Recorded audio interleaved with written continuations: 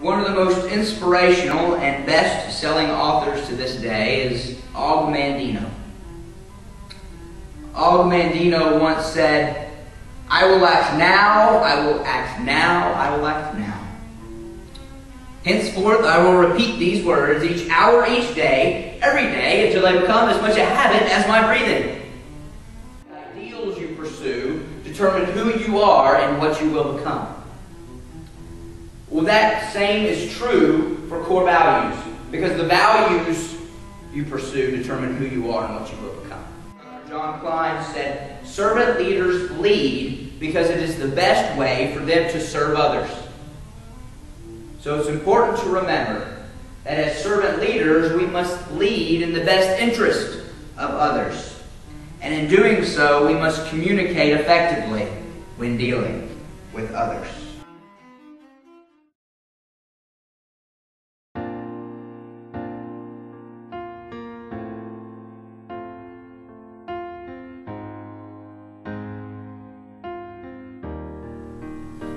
I am specifically interested in studying organizational communication and, and development as well as leadership communication.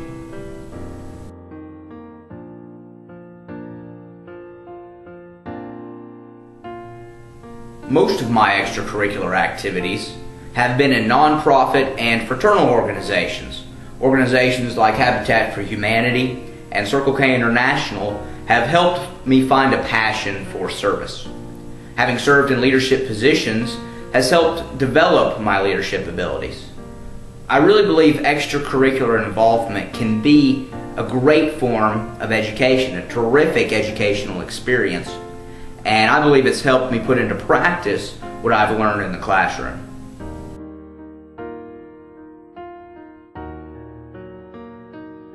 You know, we can learn so much from individuals who have led throughout history. We can learn from their leadership styles and characteristics, and that can be studied and then applied to our lives. I believe that one main characteristic of effective leadership is that of effective communication. When we look throughout history at the men and women who have led successful organizations like Truett Cathy or Mary Kay, or those who have led effective change like George Washington or Martin Luther King Jr., we see the common connection of them being effective communicators. Therefore, if individuals build and develop their communication skills and abilities, then I believe that they will be more successful as leaders. And as leaders, we can have a positive impact within our communities and make a difference in the lives of others.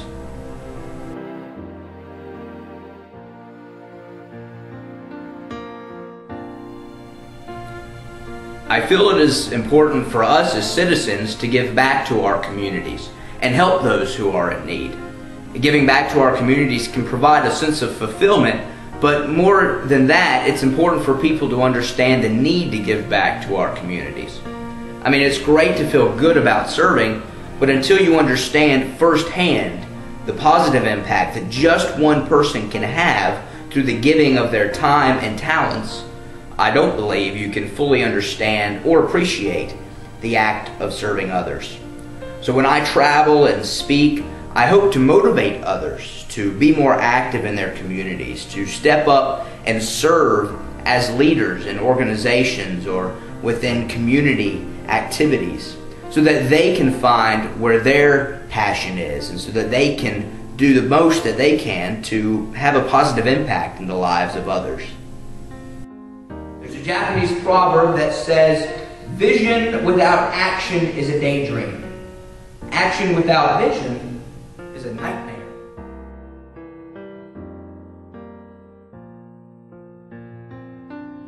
I did my research on socioeconomic status and how it influences American politics.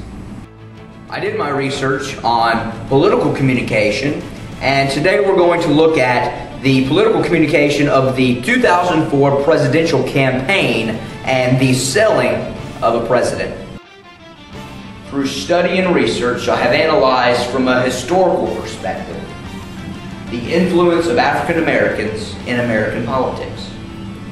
Today I will outline four historical periods where African Americans had a powerful and positive influence in American history and in American politics.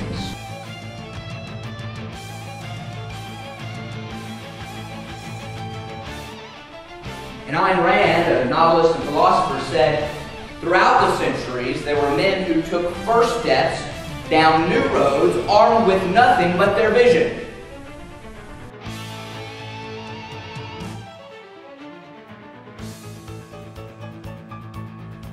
But I'll tell you this, a key, a key aspect of being a leader is being able to get up and speak. Is being able to get up and effectively communicate your thoughts. So in order for you to be an effective leader, communication is essential.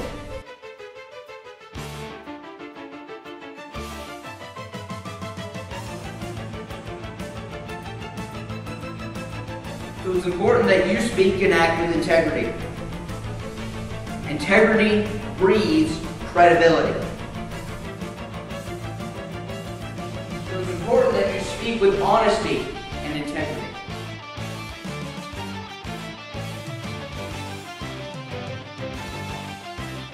Good cooks know what ingredients go into their recipes.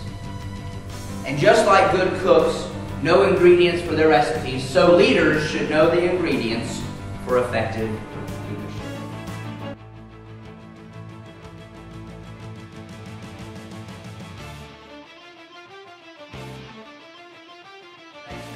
hope to achieve this weekend, maybe some things you want to work on personally, maybe it's you just want to get to know somebody else this weekend.